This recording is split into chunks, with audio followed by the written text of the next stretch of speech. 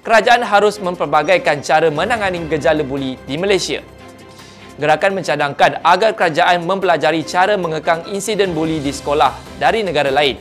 Kerajaan boleh mengambil contoh dari Amerika Syarikat dan mencadangkan pengubalan undang-undang anti-buli bagi menangani secara berkesan pada mereka yang terlibat dengan perbuatan tersebut.